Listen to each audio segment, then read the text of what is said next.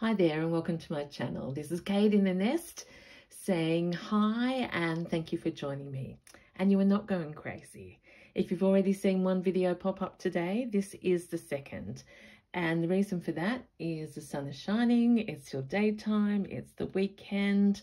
I've been watching some of the Olympics opening ceremony in the background, doing some tidying and really getting myself sorted for some making. So we are going to be working on my Roxy's Journal of Stitchery big project this afternoon. And as always, I like to share that when I get a piece, I a new piece, I like to, if I can, use it straight away and, you know, the memories come with me. So this is a piece that I got um, at Zoe's at the Green Door Studios this week as I've shared in a few videos. But this one is, I don't know if it's a tray cloth or something. I shouldn't say but, I should say absolutely. This is going to be a wonderful addition, um, addition to my Field Notes Slow Stitch quilt. I've also got these little bits and pieces. Another dolly, I think this was from Zoe too. Yes, it was. And um, I love those flowers. And this is my latest piece. And it, it's fitting that I'm going to work on this because I actually bought this tablecloth from Beck at of the so of Sobe at the craft um, show a few weeks ago. So I've been to the States and back in that time and truly I can see I can see lots of making ahead. So that's why Kate is her usual excited self. So we're going to work on that. For those who are not um, familiar with this project, as well as the accordion journal, which I've been working on in the other room, um, I'm doing a big slow stitched quilt out of panels that are huge. They're like 26 inches by 26. And my first idea is I'm appliquing all the corners flower to flower, and then I'll piece them together. The biggest learning is that I need to make a new vessel. And a few um, people at the workshops this week were interested in it.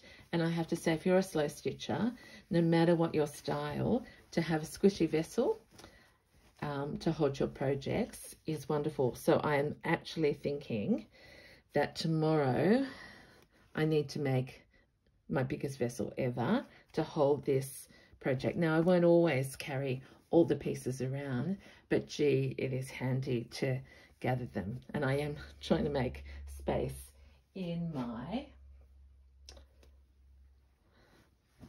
I only have one room to work out of. That's why I hesitated. I was thinking what I... It's really my spare room. Um, but I'm trying to organize things into a cupboard rather than over all the beds so that someone um, who comes to stay with us might have a bed. So I'm going to get straight into it and I want to do some harvesting.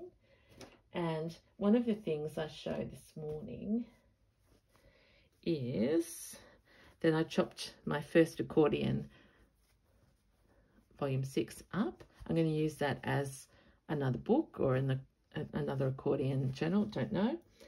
And that these pages were a conglomeration of the things that I liked and were going well and things that weren't going as well. And as I said, I will never destroy these. Oh, this is my exercise for the day.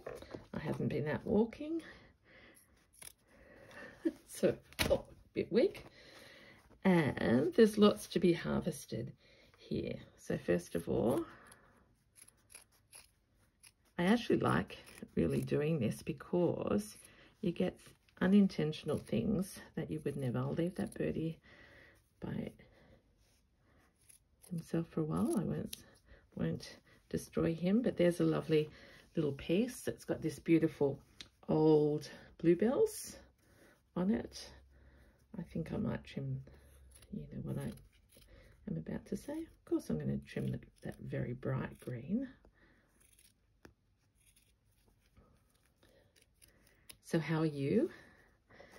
How's your time going so far? If it's the weekend for you, I'm delighted. Well, I think it is for all of us. And I've been just watching those amazing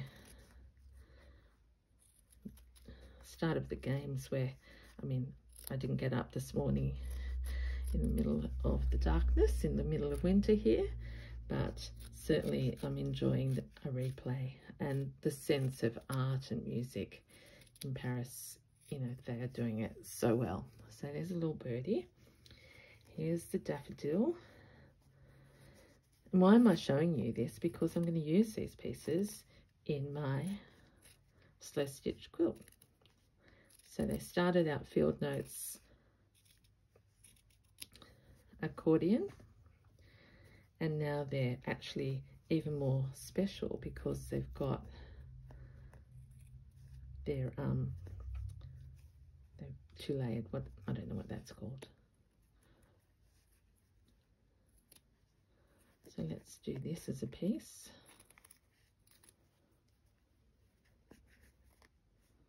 Actually loving that stitching that I did there. Particularly neat of Kate. Can't remember doing it might have been on the plane So I think I will keep this little tulip joined. And look at that for a, for a piece that's coming with inches. Let's just trim that bit round.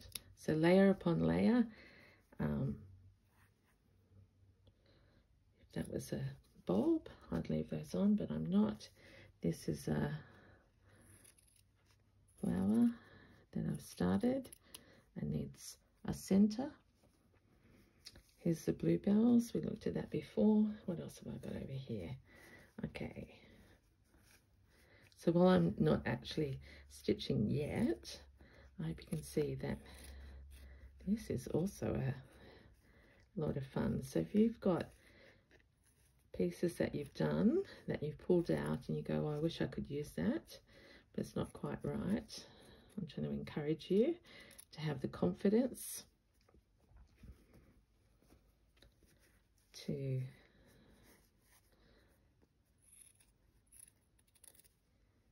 even if you don't have an immediate project for them to go on, just to think of giving them a new and different life.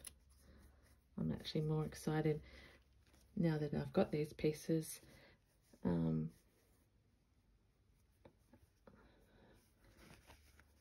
okay, so let's think of a little pink area down here. So I'm actually going to keep that little red with this little pink. The three tulips can stay together because that'll look nice on a corner. So the idea is, in fact, I was thinking about it you know, how does it relate to field notes? At this point, I'm making a field of flowers. And when I've got them all together, or even I'll, start when I've got three or four together, then I'm going to embellish over the top, and that's where we'll have dingly dangly notes. We'll have our little specimen jars. We'll have um, treasures, birds, and everything else that Kate can think of. Very excited. And it, as we were talking the other day, it is nice to have a really big project. Look at this. Now that it's broken up, I can actually look at this corner up here where I thought my daffodil looked like an insect. Even if it does look like a bee in my bigger garden, that will probably have a place. So I've got petals there. Might just sacrifice that. Okay, so look at that. That's a tablecloth. And then off, green door.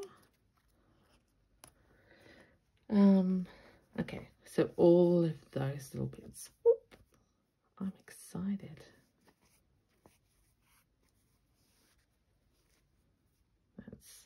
Scrappy. I'll put that over there. Okay, I'll put them in this little nest for the minute.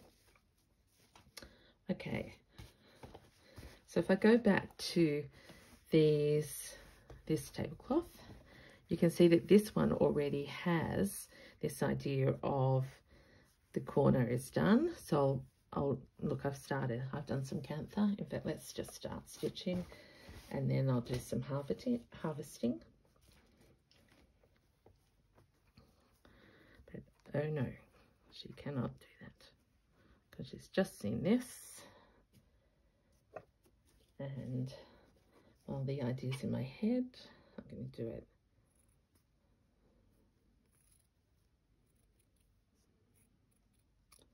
Now, I know many of you are not up to cutting up doilies. I totally understand. I don't cut up every doily. I have a beautiful collection of ones that I will not touch. But for this project, I'm going to need probably thousands of flowers. So it's just part of my art form, I think, that I need to harvest. We were talking about harvesting and I suppose for me, harvest, when you harvest something rather than cut, you the sense is that you harvest it for its next stage. So if you harvest your wheat or um, rice, it becomes the next stage of its life. So that's why I talk about harvesting my doily flowers or wherever, whatever I'm getting, because they're on their way to their next life. So look at that. So let's start with that.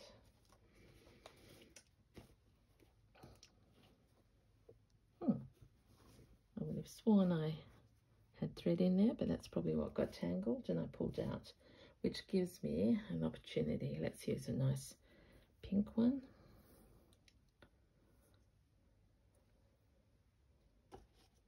This is pink perle.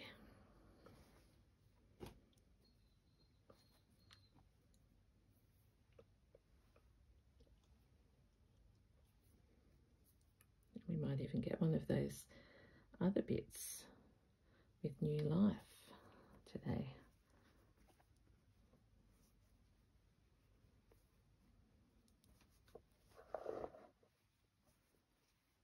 We'll just have a little audition, but we'll do this one first. Find a pincushion, Kate.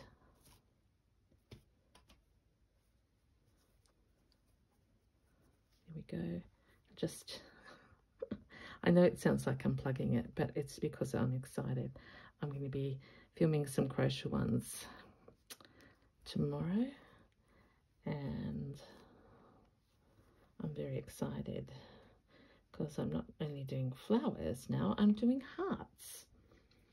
And I have some ideas for some wearables and, you know, potential presents for Christmas. Who knows? Just gifts for people you love and this is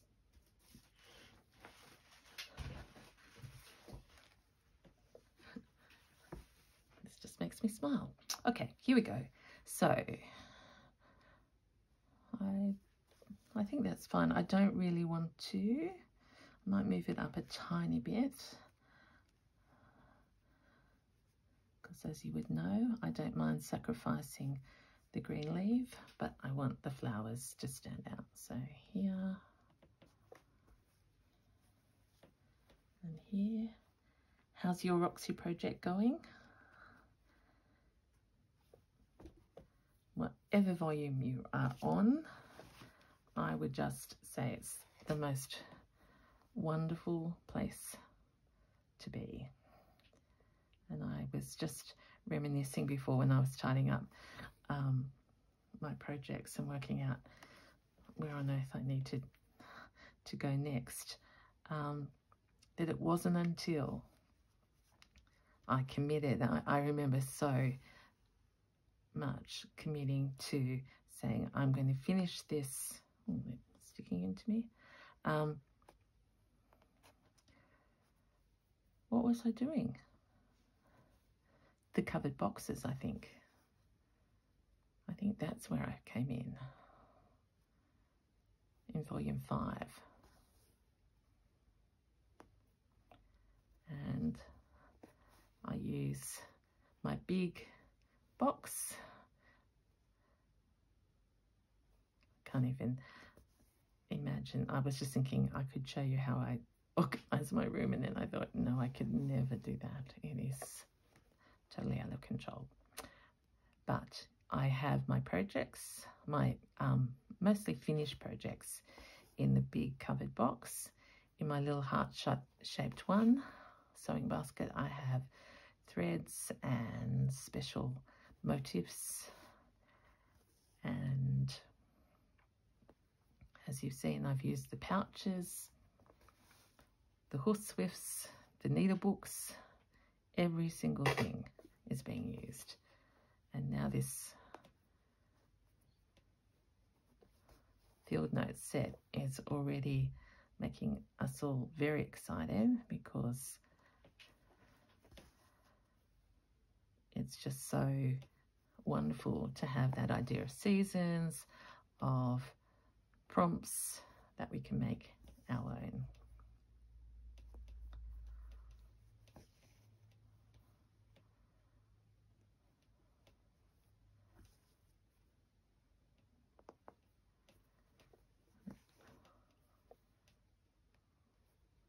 Was doing invisible, but then had fun around that little flower.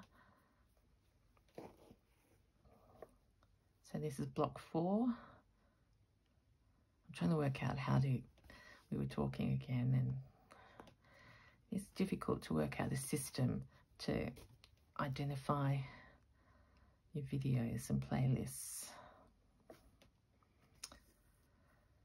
And I haven't got it right because I journal. I have my journal playlists and then I have my slow stitching playlists and then I'm going to have crocheting ones. Um, I want to make it easy for you to choose which sort of strand you want to watch or if you're watching all of them you can just watch them as I make them. But I know some of my new subbies a shout out to you are just wondering where to start and Kate's a little chaotic but when I look back and think I only started on YouTube in March,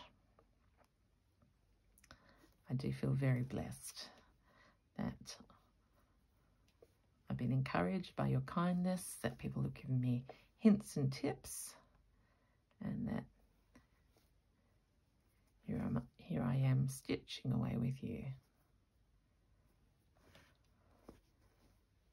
And journaling away with you and crocheting with you.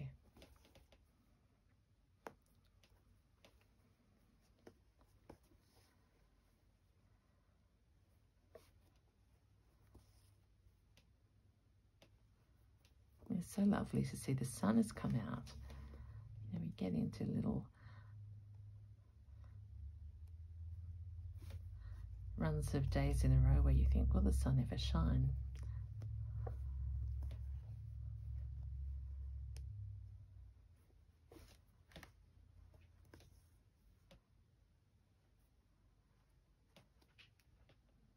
Just taking a little sip of water.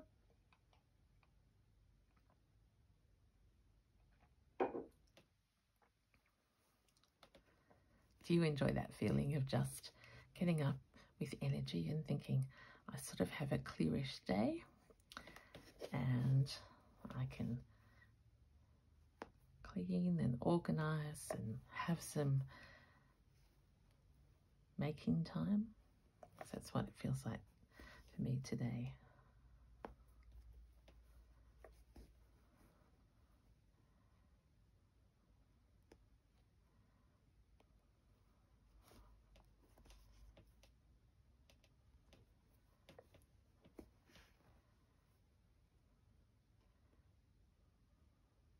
And look, I could easily stop doing this stitch now because you had the hang of it, but the whole press part of it is sharing the making. And until the thread goes out, Kate will just keep on this little motif and then we'll have some fun.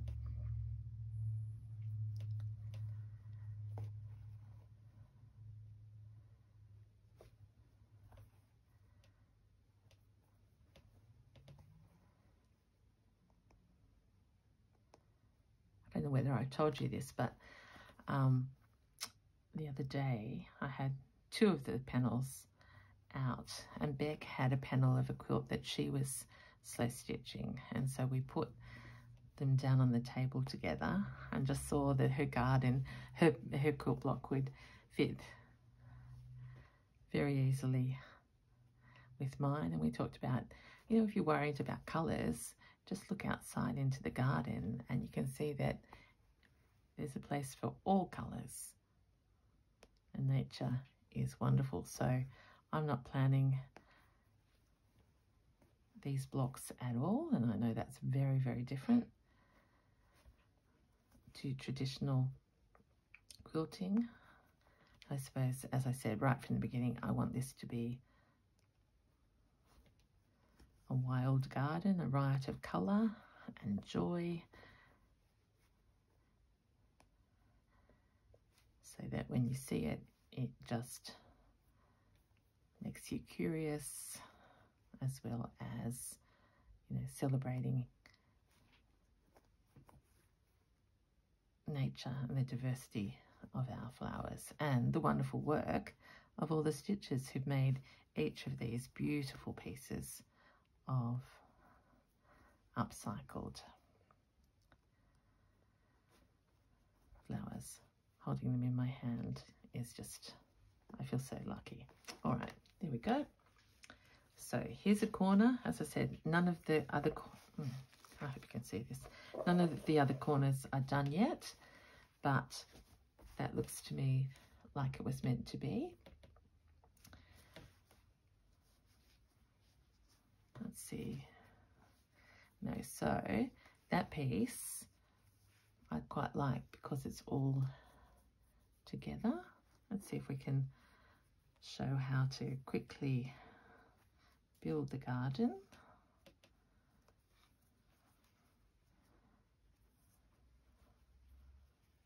Put some of these other pieces out. It's probably Bluebell needs to be more in the center over there. But maybe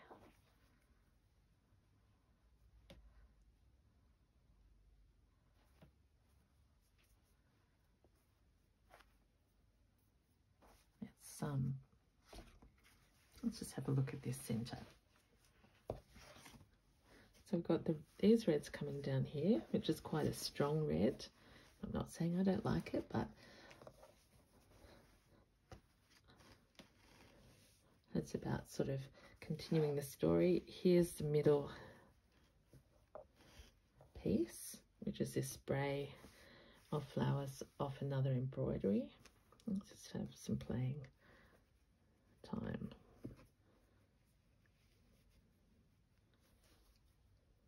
Actually, that might be the piece there. The tulips come into the red and then that green goes up there.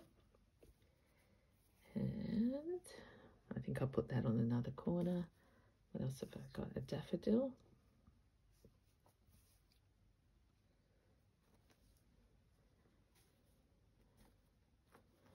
Some pinks. Oh, that's pretty.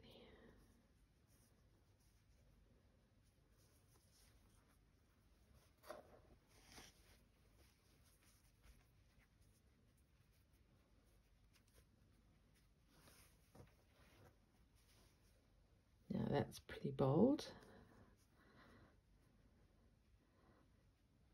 But I like it. So immediately we're getting some um, real texture in there. But I won't do that yet. So I think, oh, there's some pretties. Okay, we've got some greens here. A little bit of red there. How about that?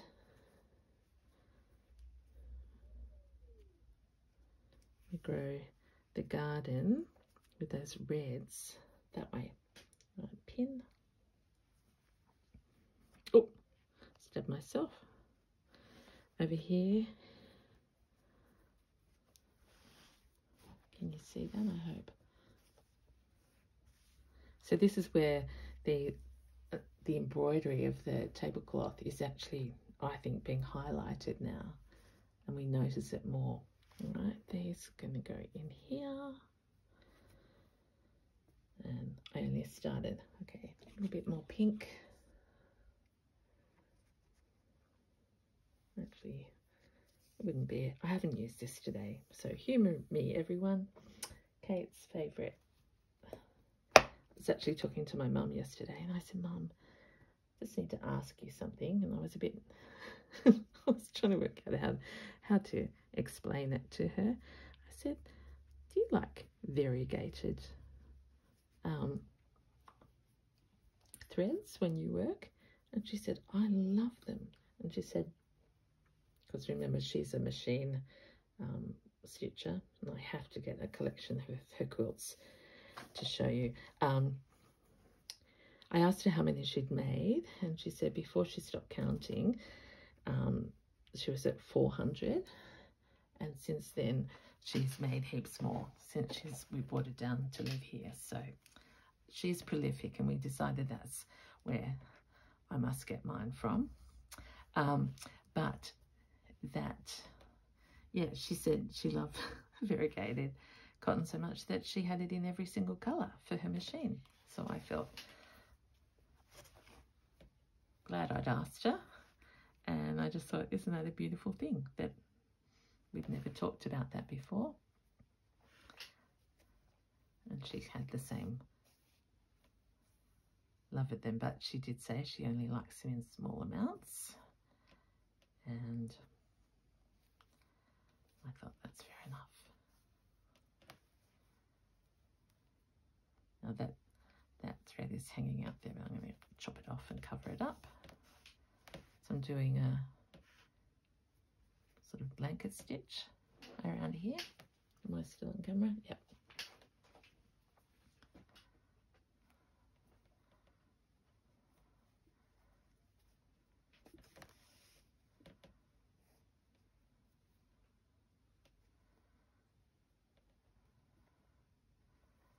Son is about to go on the next um, leg of his driving adventure. He's driven up from Victoria and um, I've had a very special mum moment today, one that I will always treasure.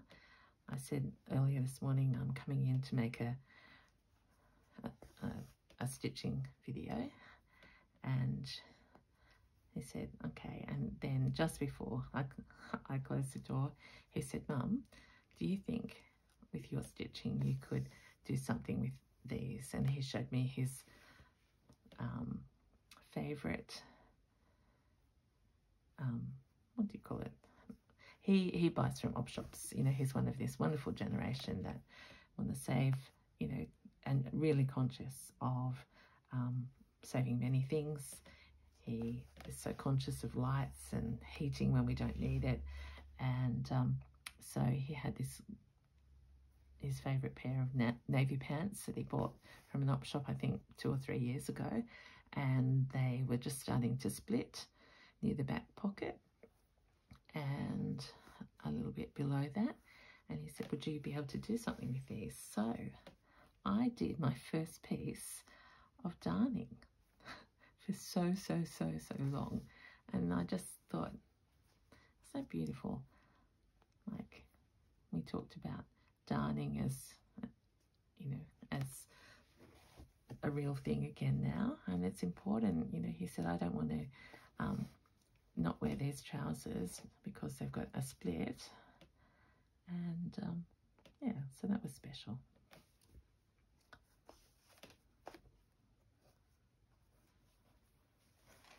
I'm sending him back with those and he'll say, is taking quite a number of old books. He went out to the Reviver Centre that I took him to, oh, before he moved. Um, went out by his own, himself yesterday, found some amazing old books. So my husband and I were saying, look at that, isn't it? It's so wonderful when you have kids and you you just love them and let them be themselves and it's just every part of the journey is rewarding.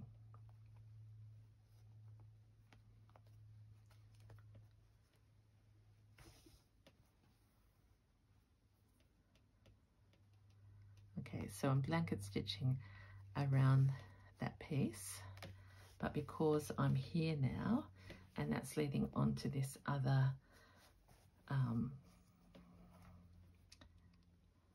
applique piece, I'm going to have some final fun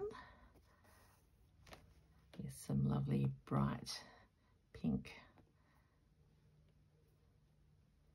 running stitch.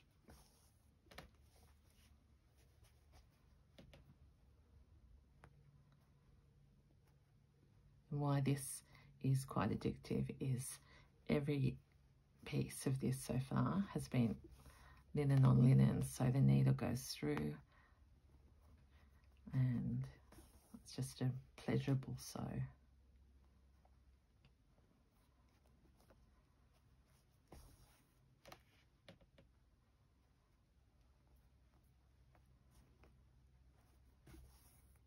And just a reminder, if you haven't um, had the chance to watch from the beginning and you don't have to, I'm sewing, I've backed it with um, blanket from the op shop and I find that sewing linen embroidering um, linen with wool on the back is my most favorite favorite thing. It just feels wonderful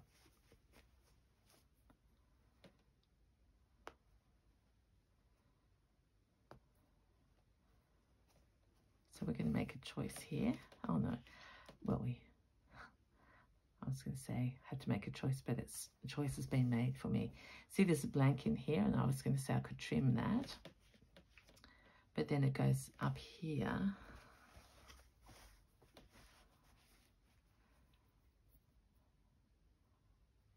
Do I want to cut that in and make that a feature? I think I do.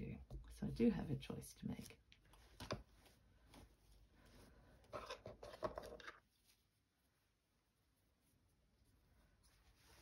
I'm just going to take a little bit of, it's like journaling and having white space around a, a flower or a bird or a butterfly. This becomes a bit more interesting with the stitching then.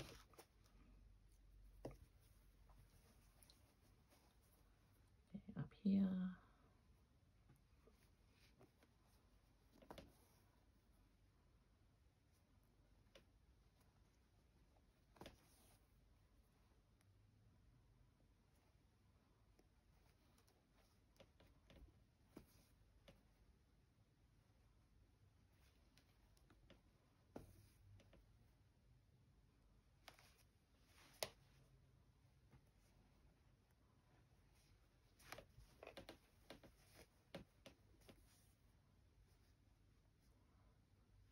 I'm stitching at a funny angle now. Why is that? Because I don't want to stitch it together.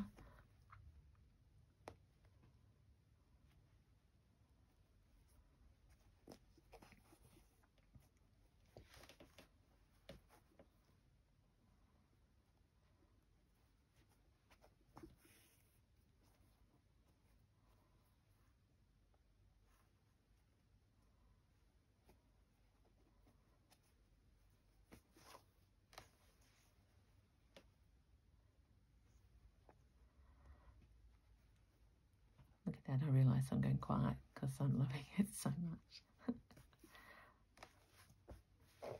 it's very quiet and I can just stitch by natural light. Let's put a pin in there.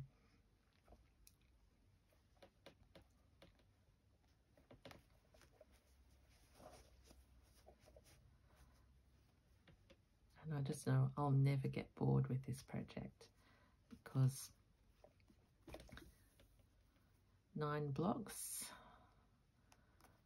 with endless flowers and layer upon layer to be done.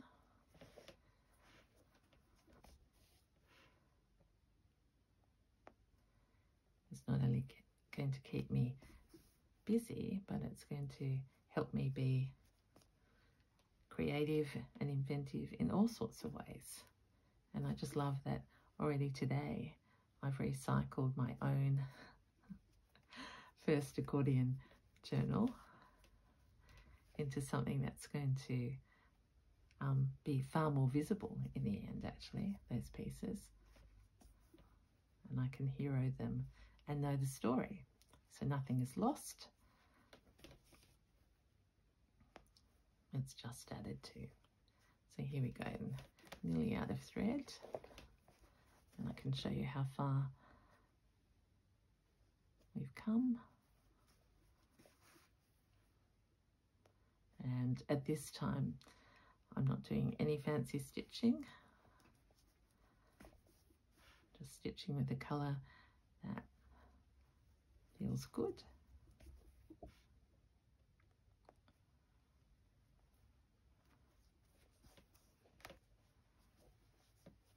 And how much have I got? No, not enough. I had an idea that I'd make a little daisy here, but in pink to join the red and the purple, but I'm not going to have enough. So tempted though. Let's make a tiny one. Even if it's only got three petals to make a flower.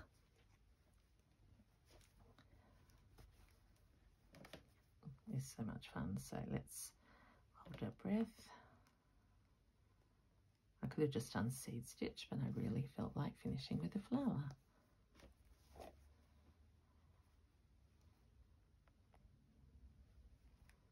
Um, it's come unthreaded, so I will join another one in there. And so it's a story to be continued. Here's a little peep of some of the flowers, oh not flowers, some of the hearts that I've been making. And um, I'm not going to put a heart on here yet, but I will be putting flowers all over the top of these quilt blocks, three-dimensional.